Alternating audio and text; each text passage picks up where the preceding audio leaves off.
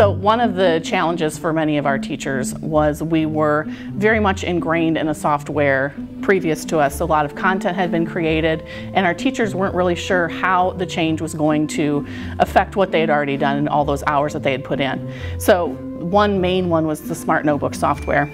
So it is possible through Clevershare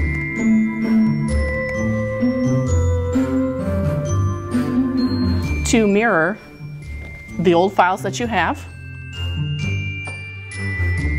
And then you can simply set your laptop down or walk away from your computer and you still have access to all of those things that you had had before.